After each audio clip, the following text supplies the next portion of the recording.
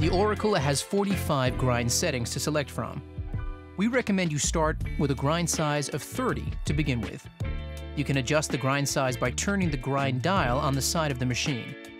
Turn the dial anti-clockwise for a coarser grind. This will increase your grind size, resulting in a faster extraction. This is generally done with fresher beans. Turn the dial clockwise for a finer grind. This will decrease your grind size, resulting in a slower extraction. This is generally done with older beans.